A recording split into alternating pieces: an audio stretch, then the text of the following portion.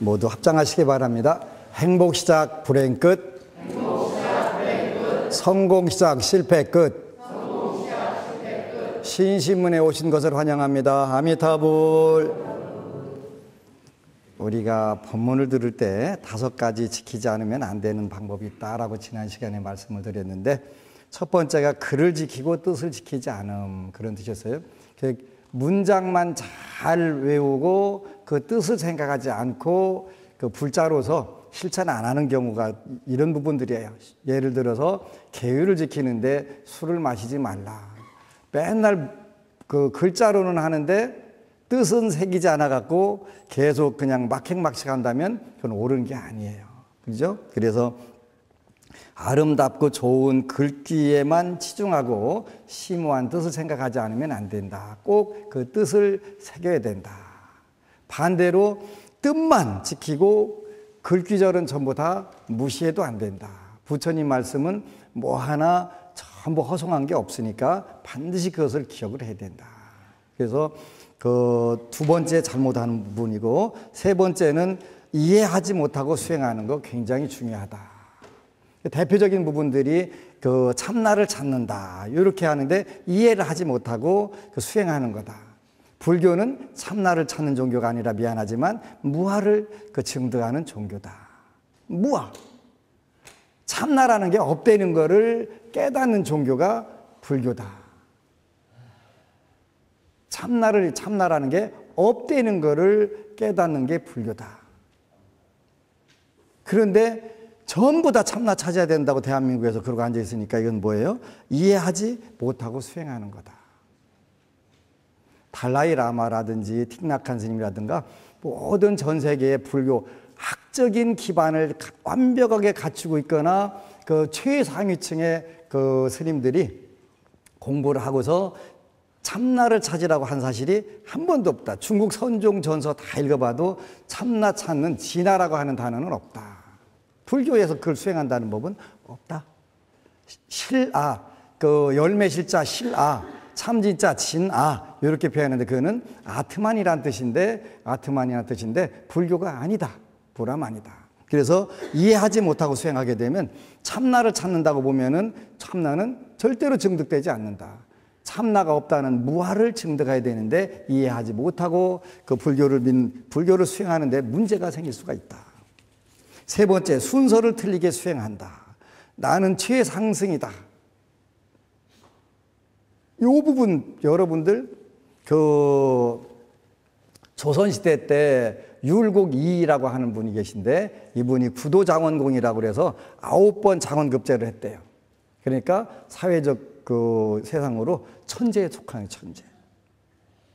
근데 그 대한민국의 많은 불자들이 전부 저한테 와갖고 자기가 천재라고 하는 분들이 많아. 여러분들 빼고 불교 시청자들 빼고. 그 당신이 어떻게 해서 천재냐 그랬더니 자기는 그 최상승을 수행하고 있습니다. 그러길래 최상승 뭘 수행하는데? 최상승. 내가 볼 때는 네 머리가 그걸 받쳐주지 않을 텐데. 최상승의 근기는 복덕과 지혜를 전부 다 갖춰야 가능한 거예요. 그죠? 아, 일자무식인 해능 스님도 깨달았잖아요. 그 양반이 일자무식인지 어떻게 알아? 그리고 그분이 당신보다 그 세상에 살 때는 환경이 약했지만 그 나쁜 환경에 살았지만 그분은 전생의 이미 전부 다 갖추고 나왔고 금생의 완성만 남아있던 분이요. 너는 아니지. 저한테 하도 하도 와서 그 충청도 말로 가오당치도 않는 얘기를 했어서 그냥 제가 살짝 물었어요. 저희 때는 지금 수능이 예비고사였거든요. 너 예비고사는 합격했냐? 내가 얼마나 답답하면 그 그냥 한대 치워 박는 소리 했겠어요, 그지? 너 예비고사는 합격했어? 못했지요. 그렇지. 그런데 뭔 최상승이요? 돌대가리 가지고. 돌대가리 가지고. 안 되는 거예요, 안 되는 거예요. 순서를 틀리게 수행을 한다는 말이에요. 나는 그 말법 시대의 최상승 근기를 가지고 있는 최상승 불자입니다. 최상승 불자가 왜 여기 태어나? 티베트 저 달라이라마 옆에 태어나야지. 아닌 거예요. 순서를 틀리게 수행하게 되면 그 얻는 게 없어요. 여러분들이 유치원생이 대학원 과정 딱 로스쿨 과정 책 들고 다니면서 다는 로스쿨 책을 가지고 다니는 유치원생입니다. 그러면 아, 넌 진짜 대단한 유치원생이다. 존경하고 싶다. 그러겠어요? 저런 비행신 봐. 그러지? 저게 제정신인가 할 거 아니에요. 그죠? 그러니까 저는 제정신으로 안 보이는 경우들이 내가 제정신이 아닐까 저 상대가 제정신이 아닐까 가끔 그 헷갈려요. 그지? 그래서 가끔 가다가 제가 책으로 한 번씩 머리를 때려보는 거예요. 이렇게 퍽퍽 소리가 나면 어느 쪽에서 날까? 책에서 날까? 머리에서 날까? 예? 한번 두드리게 봐야 된다니까. 그래서 순서를 틀리게 수행함. 다섯 번째는 잘못 알고 수행함. 잘못 알고 수행하는 방법 자체가 뭐라고 그랬어요? 이해하지 못하고 수행하는 것과 잘못 알고, 잘못 알고. 그러니까 향을 만들려면 향 재료로 만드는 거예요. 인분 같다 아무리 향 만들려고 해도 안 된다고 부처님 그 선가구감의 그 서산대사께서 말씀하셨잖아요. 안 되는 것도 안 되는 거예요.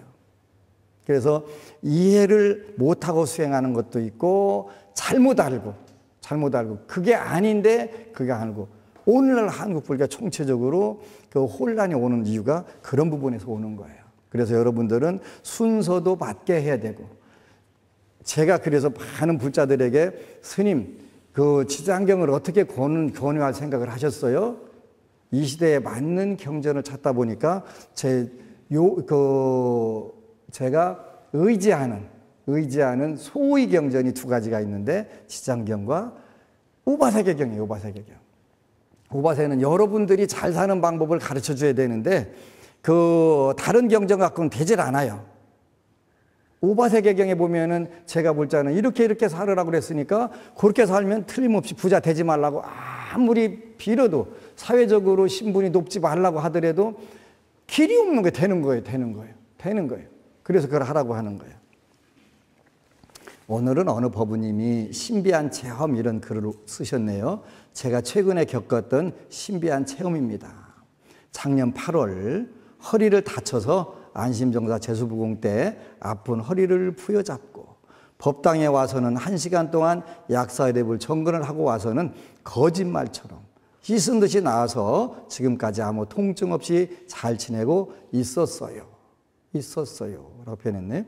병원에서도 1년 치료 시기를 잡고 나을지, 안 나을지 미지수라며 했던 제 허리를 단 한 시간의 약사열애불 정근으로 바로 가폐를 입어 병원에서도 놀랄 정도로 허리가 다 다 잘 지내고 있었어요.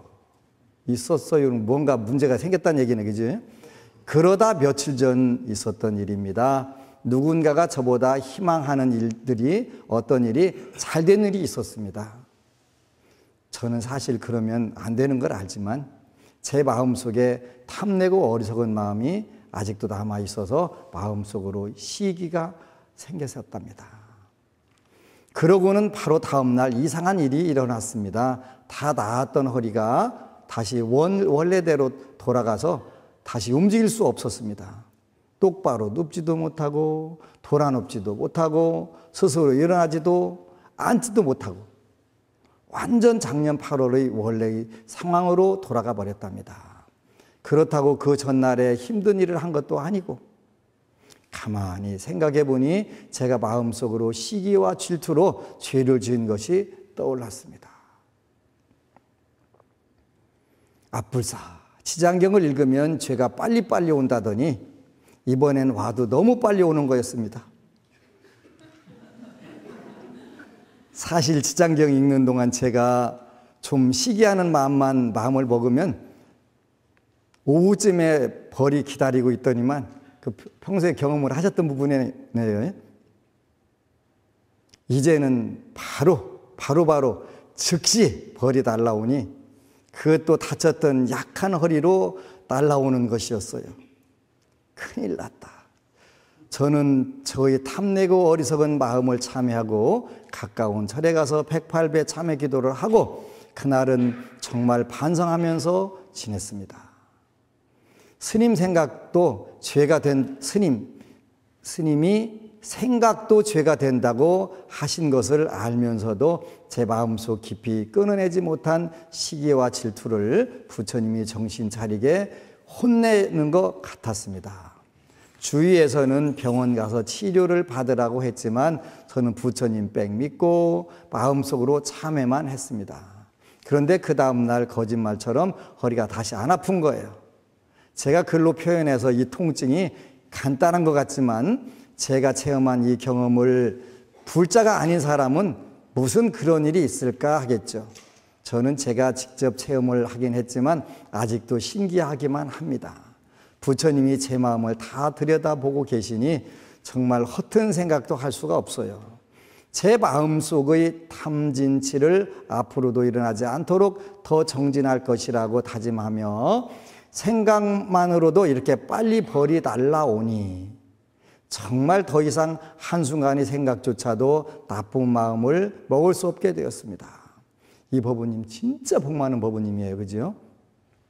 부처님이 이렇게 또 깨닫게 하시는구나 감사하게 생각하며 다시 법안스님 법문을 처음부터 듣고 공부하기로 했습니다.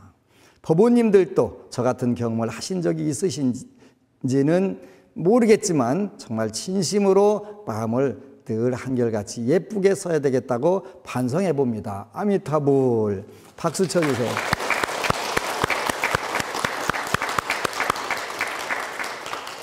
제가 이런 고마운 불자들이 나오는데 어떻게 그냥 갈 수가 있겠어요?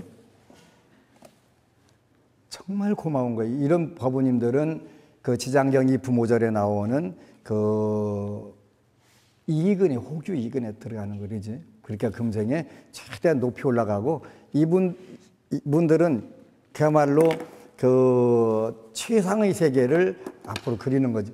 바로 여러분들이에요. 여러분들 모습, 여러분들 모습. 그래서 그 정말 행복하다는 생각을 하는 거예요. 행복하는 걸. 이제 여러분들이 법문을 들을 때는 그 네 가지를 기억하라고 했는데 선남 그 화엄경에 선남자여 너는 자신을 병자로 생각하고 법을 약으로 생각하고 부처님 말씀을 약으로 생각하고 선지식을 명의로 생각하고 정진하여 수행함을 병을 고치는 것으로 생각하라. 법문을 듣는데도 이렇게 하라는 거죠. 법문을. 자기 자신이 그 환자라고 하는 생각을 하게 되면 그 병을 어떻게 해서라도 나으려고 노력을 하게 되잖아요. 저는 병이 없는데요. 지금 금방 읽어줬잖아요. 그 시기 질투도 질병이라고. 근데 남을 해치는 질병이 아니라 자기 자신을 해치는 질병이 되는 거예요. 자기 자신이 앞으로 행운이 열리고 복이 오는 걸 그걸 스스로 막는 방법이기 때문에 부처님께서 경계를 하신 거예요. 여러분들이 시기 질투해갖고 그 대박 나고 좋아진다면 당연히 하라고 부처님께서 권유하시지. 근데 여러분들이 심리적인 부분, 또 영적인 부분, 육체적으로 질병도 올 뿐만 아니라 이렇게 전부 다 와서 때리는 거예요. 그러니까 탐진치 만의가 여러분들을 해치는 것이지 남을 해치는 게 아니다. 이렇게 말씀하신 거예요. 그래서 자신을 병자로 생각하고 부처님 말씀을 약으로 생각하고 약으로 생각하고 또 선지식을 명의로 생각하고 정진하여 수행함을 병을 고치는 것으로 생각하라. 여러분들이 그 지난 시간에 이야기했던 보살마살이 자신도 이렇고 남도 이렇게 할 수 있는 그 여덟 가지 조건 중에서 수명이 기른 거, 뛰어난 외모를 갖는 거, 큰 힘을 갖는 거, 높은 신물을 갖는 거, 그 네 가지가 있어서 그죠? 이 갖는 방법이 뭐냐면 심리적으로 시기와 질투, 탐심과 어리석음에서 벗어나는 거예요. 벗어나면 바로 여러분들이 그 부분들을 갖출 수 있기 때문에 그러니까 남을 위해서 하는 게 아니라 철저하게 자기 자신을 위해서 그 되는 거란 뜻이지요. 그렇게 이 불교를 안 해야 될 이유가 절대로 없잖아요. 어떻게 안 할 수가 있겠어요, 그지? 안 할 수가 없단 말이에요.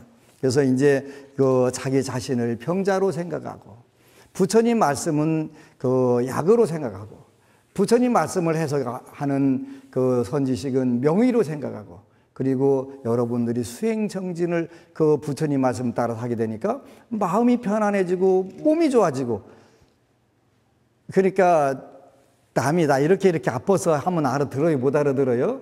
못 알아들어요 소용없어요. 그래서 제, 저도 일, 일, 일년에 두 번 정도는 아주 죽었다 깨나게 알아야 돼. 그래야 아픈 사람 이해를 하게 되는 거예요. 조금만 괜찮으면 내가 언제 아파서 그냥 또 하잖아요. 그러지?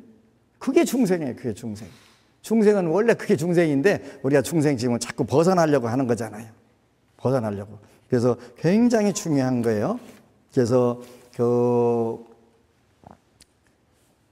자기 자신을 환자로 생각하고 부처님 말씀은 약으로 생각하고 명의는 의사로 생, 그 선지식은 의사로 생각하고 자기 자신이 그 의사의 말씀을 다 들었다 하더라도 본인이 해야 될 부분들이 있잖아요. 그죠?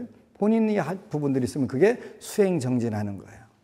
제가 한 열흘 동안 태어나서 제 발로 걸어 다니면서 최고 오랜 세월 동안을 누워 있었어요. 아까 어느 법부님이 20, 26년 동안 스님 아파갖고 누워 있는 거 처음 봤다고 마, 맞아요. 전 처음 누워 있었어요.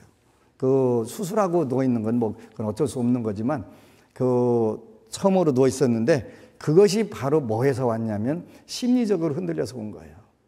제가 나름대로 열심히 살려고 하는데 자꾸 방해를 하는 한 분이 있는 거예요.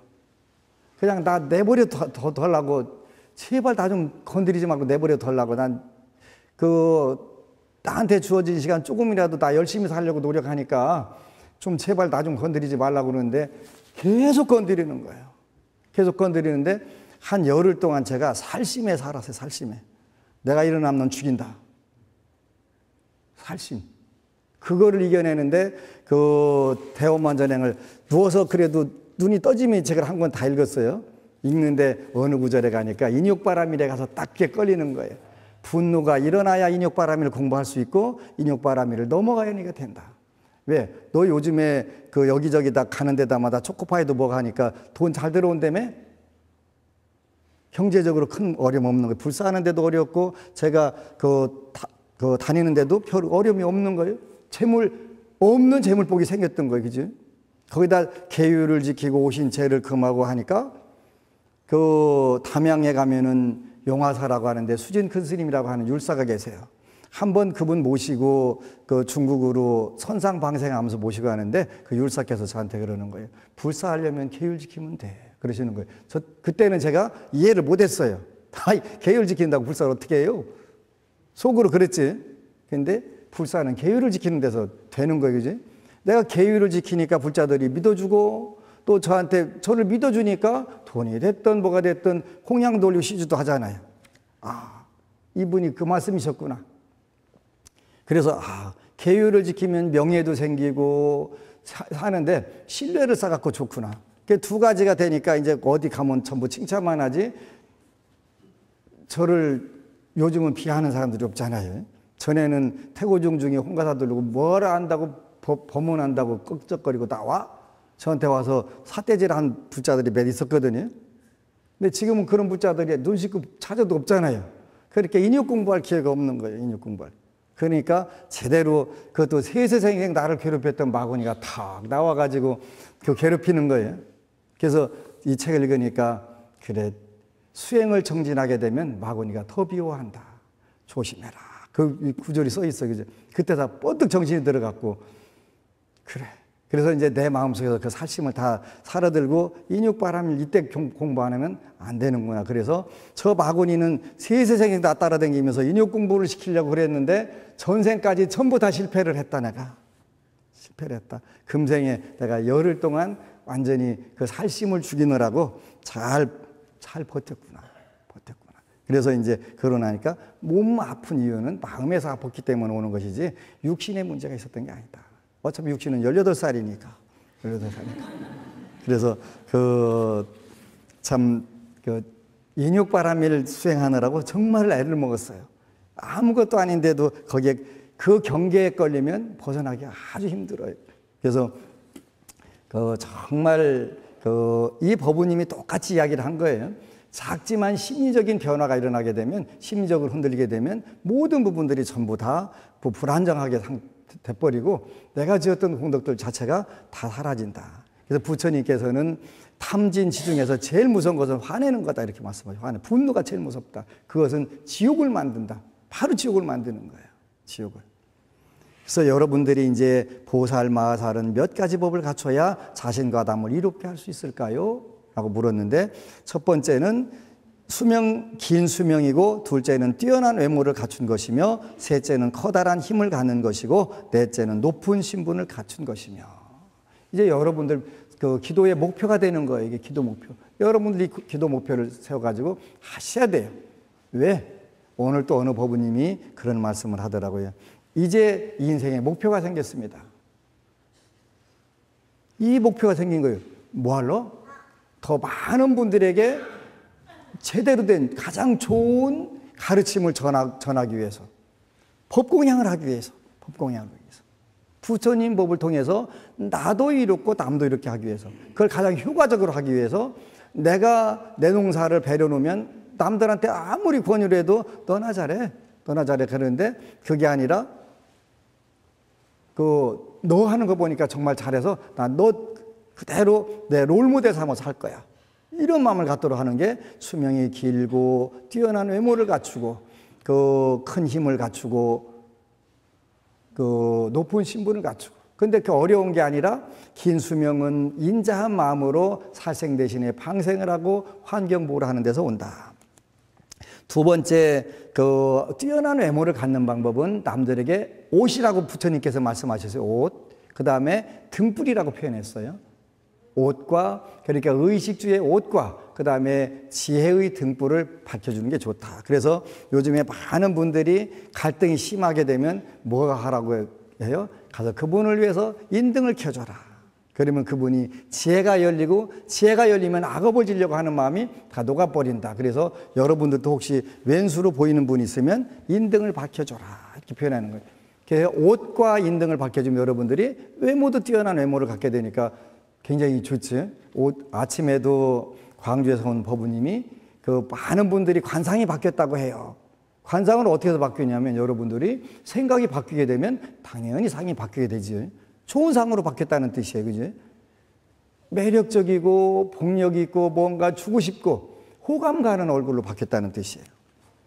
그 다음에 그 네 번째 그 커다란 힘을 갖는 것은 커다란 힘을 갖는 것은 교만한 마음을 없애 없애고 높은 신분으로 태어나고 큰 힘은 음식 음식으로 그, 보, 그 남들에게 음식을 베푸는 것은 큰 힘, 힘을 갖게 되고 그 교만한 마음을 없앤 부분들이 여러분들이 사회적 신분 이런 걸 높게 해준다. 겸손하게, 겸손하게. 그러니까 국민을 위해서 또 내 주위 이웃을 위해서 또 불자들을 위해서 절에 와서 저는 따진 마음으로 봉사하겠습니다. 그러면 여러분들이 아이고 저보고 뭐 절에 가서 청소하는 친구야 그런 의미가 아니라 그분의 인격이 또 사회적인 신분이 높아진다는 뜻이에요. 그 다음에 오늘은 다섯째부터 다섯째는 재산이 많은 것이고 제가 불자는 재산이 많아야 된다. 꼭 기억하세요. 그지? 꼭 기억하셔야 돼요. 부처님이 무소유로 살으라고 하셨다는데요. 그러지? 무소유로 살아야 될 분들이 있어요. 저를 비롯한 출가제자들은 원칙적으로 무소유로 살아야 되는 거예요. 무소유. 무소유라고 하는 것은 가졌다는 생각이 없어야 된다는 뜻이에요. 근데 요것도 이제 뜻과 글과 뜻이 두 가지가 있어, 그죠? 무소유라고 하는 뜻은 두 가지가 있는데 그 글 뜻은 없을 무자, 바소자자, 가질 유자예요. 있을 유자예요. 내가 갖고 있는 그 물질이 없어야 된다 이런 뜻이 될 수가 있어, 그죠? 오늘날 남방불교 스님들은 그 개를 받으면 당신 손으로 돈을 받지 않아요. 옆에 있는 개를 받지 않은 친구가 따라다니면서 그 공양을 올리면 그 돈을 옆에서 받아갖고 챙겨요. 근데 이제 미얀마에서 오랫동안 공부하고 오신 스님이 계신데 한국에 오니까 그게 습관이더라고 굉장히 불편하다는 거예요. 그래서 어떻게 하셨어요? 그랬더니 그냥 카드로 갖고 댕겨 그러시더라고요.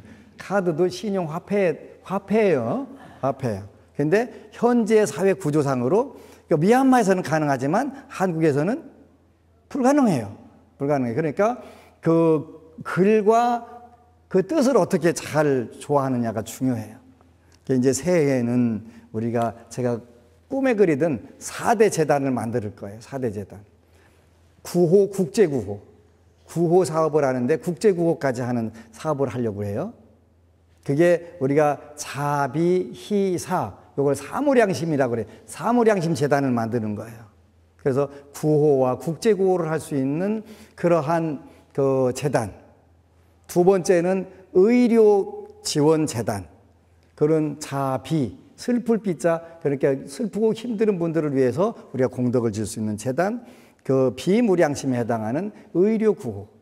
그 다음에 자비 희. 희는 문화 예술 그 포교. 문화 예술을 위한 포교. 그 다음에 네 번째 사무량심은 교육 그 지원 재단 이렇게 자비상 자비사 네개 4대 재단을 만들려고 하는데 일단 금 금년에 무술년에 요거 이제 시범으로 되게 돼 있어요. 너무 고마운 거예요.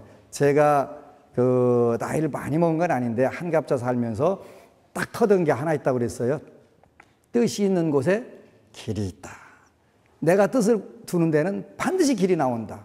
그래서 구호, 국제구호, 자무량심에 해당하는 그 사업은 일단은 3월 달에 미얀마 그 고아들, 고아들 300명 수계식을 해주는 거예요. 원래 200명 해주기로 했는데 여러분들이 동참을 많이 해서 일단 300명으로 차, 그 잘라요. 300명. 더는 안 돼요. 왜냐하면 되는데 900명, 950명이 고아인데 한 번에 500명 해놓으면 그 다음에 또 다른 데 하면 되긴 하지만 그래서 너무 무리하지 않고 일단 200명만 해달라고 그 요청이 들어왔는데 300명으로 제한하고 나머지는 다른 걸로 지원할 수 있도록 할 거예요. 국제 구호 구호.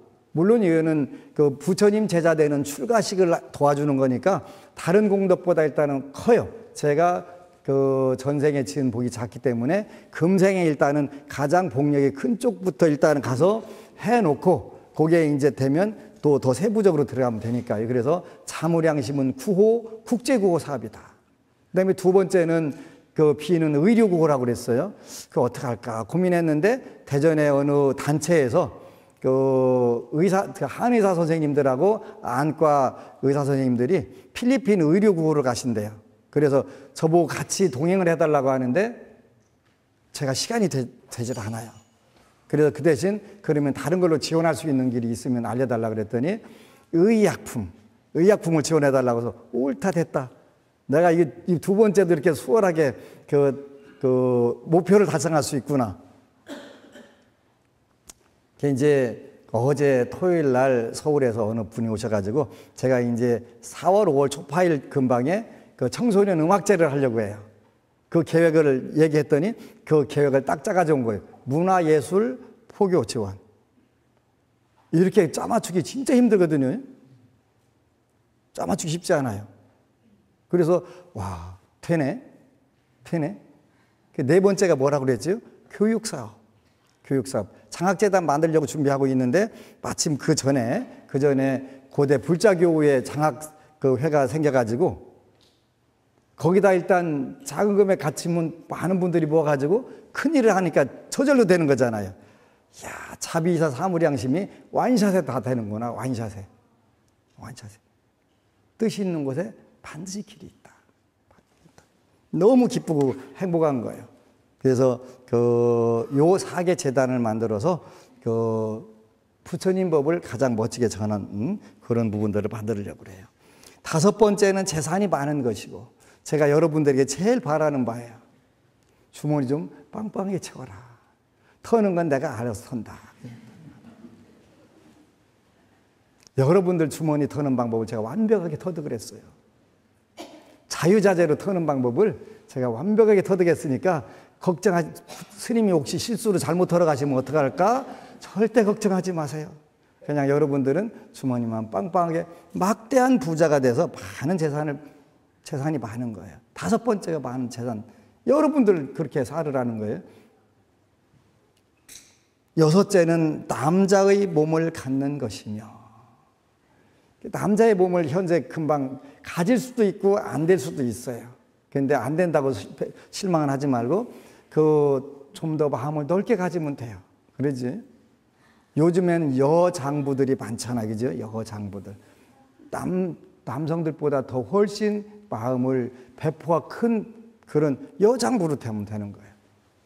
그래서 그 여섯째는 남자의 몸을 갖는 것이며 일곱째는 언변이 분명함이며 언변이 말을 잘해야 된다고 그랬어요. 여러분들 말 잘해야 돼요. 어버버버 해가면서 부처님 믿으면 어떻게 되냐 그러면 적당히 얼버무리면 안 된다. 정확하게 부처님 법은 이렇게 이렇게 된 것이기 때문에 네가 금생에 만난 영광 중에 최고 좋은 거다. 그거를 논리 정연하게 설명해 가지고 믿게 해주는 거예요. 인도해 주는 거예요. 가장 좋은 거지, 그죠? 그 다음에 여덟째는 대중을 두려워하지 않는 것입니다. 대중을. 여러분들이 아무리 많은 사람들이 가서 거기서도 멋지게 그 나는 불자로서 이렇다. 너희도 행복한 방법도 있으니까 해봐라. 이렇게 권유할 수 있어야 되는데, 그러면 어떻게 하면 그렇게 되는데요? 이렇게 꼭 물으셔야 돼, 그지? 그런 게 있대는데 어떻게 해야 돼요? 그, 거기, 거까지는 생각도 안 해봤네? 이렇게 아도 안 되고, 거까지는 알 거 없어, 다쳐, 이렇게 해도 안 되고. 그런 거예요, 그죠? 있단 말이에요, 길이. 셀 수 없이 많은 세상에서 항상 설법을 하는 것을 좋아하는 인연으로 제보가 많은 것이며 여러분들이 재물이 많으려면 어떻게 되냐면 부처님 법은 가서 재물로 많이 베푸는 것도 좋은데 부처님 법을 잘 설명해 주라고 하셨네요. 일단은 여러분들 현찰이 안 나가도 되는 방법이에요. 그죠? 되게 좋은 거예요, 일단은. 일단은 중생은 재물을 생명같이 여기기 때문에 생, 그 재물이 내 주머니에서 나가면 생명이 줄어드는 걸로 착각을 한다. 이렇게 말씀하셨단 말이에요. 근데 일단 재물이 안 나가고도 가능한 방법들이 있단 말이에요. 여러분들이 부처님 법을 잘 절해주는 걸로 큰 부자는, 큰 부자는, 큰 부자는 바로 부처님 법을 잘 전달하는 데 있다. 이렇게 말씀하신 거예요. 하세요. 하세요. 하는데 방법 제가 가르쳐 드릴게요. 그 법안 스님의 생활법문 CD 갖다 주면 돼요. 갖다 주면 아무리 늦어도 1년 안에 발심을 해. 그 듣고 궁금하니까 듣거든요. 근데 가서 들으라고 맨날 퇴근하지 마세요. 한 번만 딱 하면 돼. 이거 들으면 너 재수 대통한다. 딱 한 번만 일러주면 재수도 대통할 욕심에 듣는단 말이겠지. 뭐 그런 게 있겠어 하다고 몰래 듣는 거예요. 몰래. 오 진짜네. 오늘 아침에 속초에서 오신 분이 누가 CD를 줬는데 몇 개월 만에 들어보셨대요. 그런데 들어보니까 재밌는 거예요. 그래? 근데 거기 읽어 들어보니까 지장경 읽으면 된다고 하더라는 거예요. 본인이 하시는 일이 장례식장이래요. 근데 4개월 동안 한 건도 안 장례식장에 한 건도 안 들어온 거예요. 그러니까 얼마나 힘들었겠어요? 그러니까 지푸라기로 잡는 심정으로 지장경을 읽었는데 3일간 읽으니까 갑자기 네 건이 들어오더라는 거, 그지? 그랬다 그래서 이분이 뭐 안 돌아가실 분 돌아가시게 해서 끌어온 건 아니에요. 예? 다른 데로 가실 분 오신 거예요. 착각하면 안 돼요. 그래가지고 주위에서 오 진짜 다, 다 되네? 진짜 되네. 그래서 법안 스님 좀 한번 만나게 해달라 했더니 4개월 후에 오라고 그 하더라는 그래서 그냥 어제 토요일 날 철학기도 하러 오셨는데 얼굴 만났 얼굴 뵙게 됐다고 고맙다고 하시더라고요. 그러니까 그 셀 수 없이 많은 세상에서 항상 설법을 하는 것을 좋아하는 인연으로 재보가 많은 것이며 여러분들이 재벌되는 방법 가르쳐 드리는 거예요. 재벌. 작은 부자는 여러분들이 그 재물 보시러 하는 것이고 큰 부자는 바로 법 보시러 해야 된다. 그런 뜻이에요, 이게. 그러니까 여러분들이 부처님 말씀, CD, 여러분들이 포교로 위해서 쓰겠습니다. 그러면 전부 다 무료 공급하는 거예요, 무료 공급. 무제한으로 무료 공급하는 거예요. 포교로 해서 쓰겠다는데 제가 거기서 왜 돈을 받게 쓰겠죠? 안 받아요. 그러니까 그 다섯 번째, 그 다음에 여섯 번째, 셀 수 없이 많은 세상에서 여자의 몸을 싫어한 인연으로 남자의 몸을 얻으며 그 엊그제 어디 그 American Got Talent에 나오는 거 보니까 그 애를 열둘 낳더라고요. 이제 스물두 살짜리부터 세 살짜리까지 있대요. 근데 하여튼 열둘 날라면 12년 동안은 임신 상태잖아요. 대단하대요. 그 다음에 그 일곱 번째, 셀 수 없이 많은 세상에서 지극한 마음으로 계율을 지켰던 인연으로 언변이 분명하고, 계율을 지키게 되면 그 언변이 분명하다. 말을 잘한다는 거예요. 말 잘하는 거 굉장히 중요한 거겠지. 그냥 발린 말 그런 거 말고 정직한 말인데 부처님 말씀을 전하고 이런 부분들을 여러분들이 조금만 그 계율을 지키게 되면 언변이 분명하게 된다. 언변이 분명하게 된다. 그래서 계율을 지켜야 된다. 그 다음에 셀 수 없이 많은 세상에서 삼보에 공양한 인연으로 대중을 두려워하지 않는 것이다. 삼보를 공양한 것으로 대중들이 두려워하지 않는다. 이렇게 표현하셨네요. 굉장히 중요한 거예요.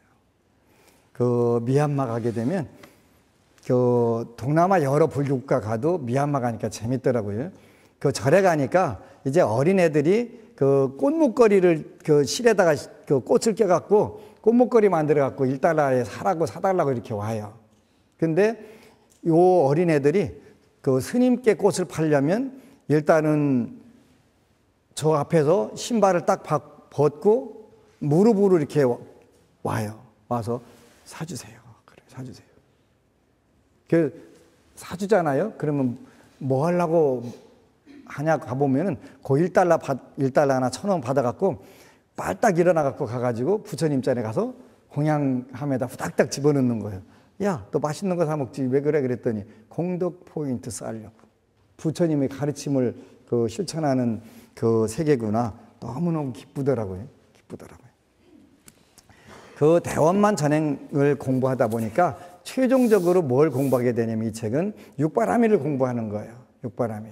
보시, 지계, 인육, 정진, 선정, 반야 이걸 그 공부하는데 여러분들이 모든 부분에서 이 육바라밀을 그 계율도 육바라밀이 계율이 되는 거예요, 결국은.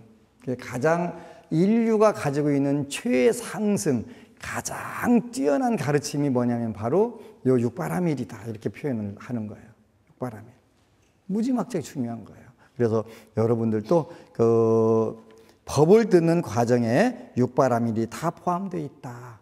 여러분들이 오늘 여기서 법문을 듣는데 육바라밀을 실천한다는 거예요. 뭘로? 뭘로 이렇게 표현하면 그 현증속이라고 하는 책에 꽃과 자리를 봉헌하고 어디서나 행동을 삼가고 모든 행동, 생명을 해치지 말고 스승의 바른 믿음을 갖고 스승의 가르침을 흩어짐 없이 듣고 어려운 문제를 풀어 의문을 풀면 법을 듣는 자가 육바라밀을 갖춘 것이다. 꽃과 자리를 마련하고 꽃과 자리를 마련하고 보시바라밀 두 번째 어디서나 행동을 삼가며 여러분들이 행동 하나하나 삼가며 그래서 절에 와갖고 그냥 막 돌아다니고 휘젓고 다니는 경우는 없잖아요. 아무래도 집에서보다는 몸과 마음을 조심하는 마음들이 생기니까 그게 지게 바라밀이고 그 다음에 모든 생명을 해치지 그 말고 그러지 절에 와가지고는 그 집에서보다 모기 잡는 게 좀 더 어렵지요.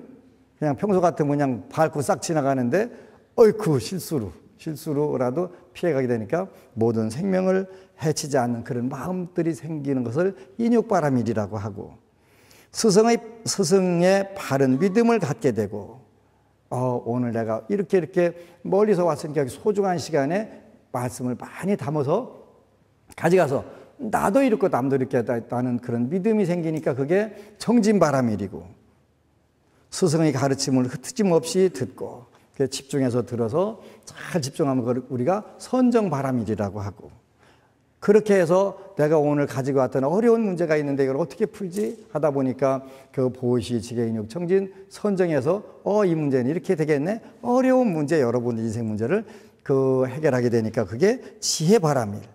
그래서 어려운 문제를 물어 그 의문을 풀면 법을 듣는 자가 육바라밀을 갖춘 것이다. 그래서 법문 듣는데도 바로 육바라밀이 전부 다 부족이 돼 있다. 금강경 보면은 여시아문 일시불제 사이국 기수국 고덕원 여대비우중 1250인구 이시 식시의 그 식시의 차의지발하고 사위대성에서 그 어기성중하여 그 차제 권리하고 반 그 환지본 차다 여기에도 육바라밀이 다 들어있다고 그래서 그죠? 다 들어있는데 법문 듣는 이 자리에 요곳에도 바로 육바라밀이 다 갖춰져 있다. 이렇게 표현이 되는 거예요. 그래서 언제든지 그 불교의 최종적인 목표는 육바라밀에 있는 거예요. 대승불교의 최종 목표는 법을 듣는 동안 어떻게 육바라밀이 갖추어지는가. 법을 듣기 전에 법좌를 준비하고, 법좌를 준비하고,